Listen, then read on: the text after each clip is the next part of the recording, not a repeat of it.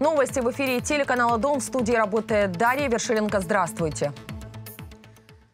Два новых коронавирусных антирекорда в Украине. 6719 случаев заражения за сутки. Также второй день подряд бьют рекорды смертности. 141 человек умер от COVID-19. Всего за все время пандемии в Украине заболели 315 826 человек.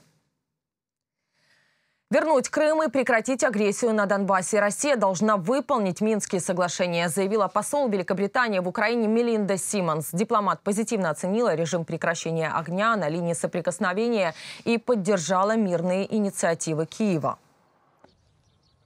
Для меня любое прекращение огня, независимо от его продолжительности, работает на то, чтобы предотвратить потерю жизней. Поэтому это сам по себе гуманитарный успех, если удается поддерживать режим тишины. Он особенно важен для людей, которые вынуждены жить в условиях постоянных обстрелов их домов. Это уже результат сам по себе. Быть способным успешно договариваться о режиме прекращения огня – это очень важно. Каждый день, который проходит, это еще один день относительно тишины для людей, которые живут там, и это важно. Тем временем специальная мониторинговая миссия ОБСЕ и штаб Объединенных сил фиксируют нарушение режима прекращения огня. Накануне в результате обстрела получил травму украинский военнослужащий. Незаконные вооруженные формирования вели огонь из гранатометов и стрелкового оружия возле Светлодарска, Майорска и Авдеевки. Всего штаб ООС сообщает о шести случаях нарушения тишины. Миссия ОБСЕ насчитала 19. Кроме того, беспилотник наблюдателей обнаружил танки и гаубицы единицы, которые были размещены на неподконтрольной Киеву территории в нарушении договоренности об отводе. Окрім того, на Приазов'ї у районі населеного пункту Павлопіль всупереч досягнутим домовленостям зафіксовано приліт БПЛА противника типу квадрокоптер із перетином лінії розмежування. Засоби радіоелектронної боротьби об'єднаних сил подавили ворожий безпілотник, що унеможливило його подальше використання. Від початку поточної доби, 21 жовтня, на усіх ділянках відповідальності українських підрозділів пострілів з боку збройних формувань Російської Федерації не зафіксовано. Переговоры по урегулированию ситуации на Донбассе тормозит пандемия коронавируса. Об этом заявила посол Германии в Украине агентству «Интерфакс Украина». Анка Фельдгузен подтвердила намерение Германии продолжить работу и в Минском, и в нормандском форматах для достижения мира на востоке Украины. Также она добавила, что сейчас ведется активная работа, чтобы саммит лидеров стран нормандской четверки состоялся в Берлине. Прогресс очень медленный, но это длительный процесс. Я думаю, что украинская сторона намного активнее принимает участие в трехсторонней контактной группе, имеет много идей, как можно преодолеть такие блокады. Мои коллеги в Берлине пытаются их поддерживать. Мешает то, что участники ТКГ сейчас только в онлайн-режиме встречаются. В таких переговорах наибольший прогресс делается в коридорах. Непростые, но конструктивные. В Иране завершился второй раунд переговоров по сбитому украинскому «Боингу». Иранская сторона заверила, готова как можно скорее закончить техническое расследование. Украинская рассчитывает на соблюдение всех обязательств в рамках международных конвенций. Крім того, ми очікуємо на розвиток кримінального переслідування і притягнення винних до відповідальності.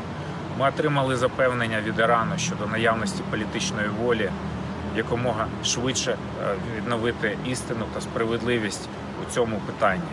І це саме те, чого очікує не лише Україна, а й інші постраждалі е, внаслідок цієї катастрофи держави, а саме головне їхні родичі.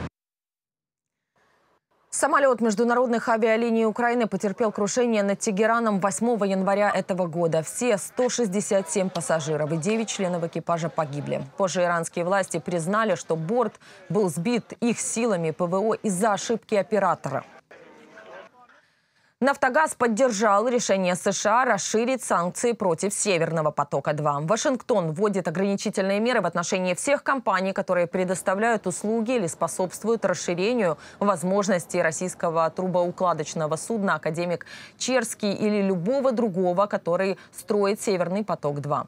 В пресс-службе «Нафтогаза» также отметили, компания продолжает тесно сотрудничать со своими партнерами в Вашингтоне, Брюсселе и Берлине.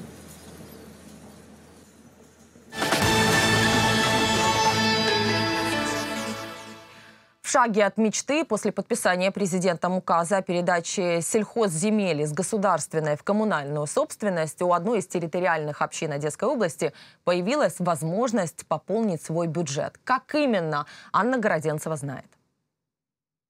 Всего Визирка 40 километров от Одессы. Это центр объединенной территориальной общины. В ее составе еще два крупных села – Любополь и Первомайская объединились два года назад. Теперь в общине 7 тысяч человек. Большая часть из них фермеры. Надеются привлечь еще больше. Передача земель державної власності, я думаю, вплине на бюджет сільської громади, адже ці землі ми зможемо самі розпоряджатися цією землею, приймати рішення щодо розміщення тих чи інших об'єктів або проведення земельних аукціонів, встановлення ставки орендної плати. В Визирской общине уже 139 таких земельных участков. Их площадь полторы тысячи гектаров. Если они получат эту землю в коммунальную собственность, отдадут ее в аренду. Надасть змогу фермерам укласти угоди для, скажімо так, будуть мати юридичну основу займатися обробітком цих земель, що надасть кошти в бюджет. А это те самые участки, на которые рассчитывает община. Годами эта земля была бесхозна, ее не обрабатывали, хотя она идеально подходит для выращивания сельхозпродукции. Много таких участков ранее были приватизированы, но местные жители не могли на это влиять. Теперь же деньги за аренду земли, которая перейдет в коммунальную собственность, будут поступать в казну общины. Землі державної власності вони підпорядковані Держгеокадастру. Вони знаходяться на нашій території, але ми не маємо на них впливу. Це вже є такі приклади, коли землі розподіляються практично без нашої участі. Ми не знаємо, кому, вони- не надають. В ближайшее время Визирская община расширится, к ней присоединится еще три села, а значит и право на большее количество земли. Заработанное планируют направить на развитие, создадут современные парки в каждом из сел, обеспечат освещение улиц и строительство детского сада. Анна Городенцева, Арсен Подосян, Одесская область, «Твой дом». К отопительному сезону готовы на 100%. В Луганской области начнут подавать тепло в дома со следующего понедельника, сообщили в облгосадминистрации. В больницах и детских садах батареи уже потеплели. Несмотря на миллиардный долг перед «Нафтогазом», все предприятия региона получили разрешение на газообеспечение. В том числе крупнейшие должники – Лисичанск теплосеть и Северодонецкая ТЭЦ. За вимогою виконання законів про реструктуризацію, а вони виконуються і по Сєвєродонецькій ТЕЦ, і по СТК, і по Лисичанській тепломережі. Тобто є відповідний е, відсоток і є відповідні вимоги реструктуризації, які вони виконали і будуть виконувати. Тобто це їм дає право і можливість повний опалювальний сезон бути з номінаціями. Старт э, в групповом этапе Лиги чемпионов с поражения. Со счетом 0-2 киевская «Динамо» уступила туринскому «Ювентусу». Матч проходил в Киеве на НСК «Олимпийский». Несмотря на рекомендации Министерства здравоохранения не продавать билеты, трибуны были со зрителями.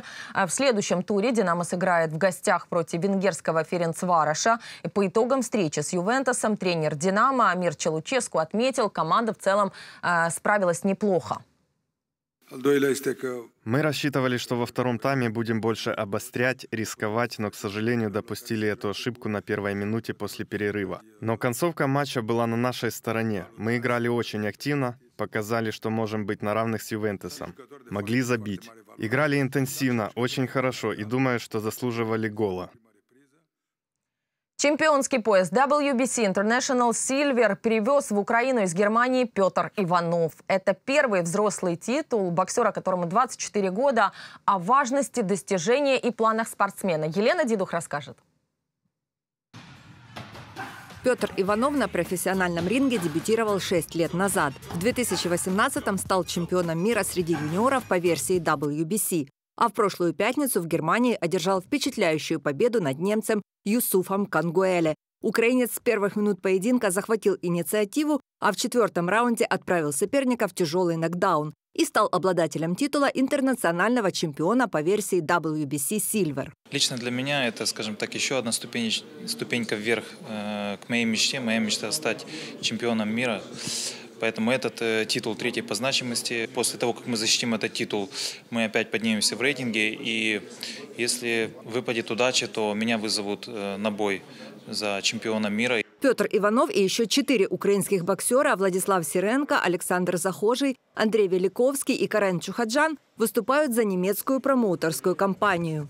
Следующие поединки планируют провести в Германии 13 декабря, если позволит эпидемическая ситуация. Ну, у нас планируется, кроме Карена, четыре поединка титульных, ну, что касается украинских боксеров. Соперники ну, будут уровни такие топ-100 мирового рейтинга.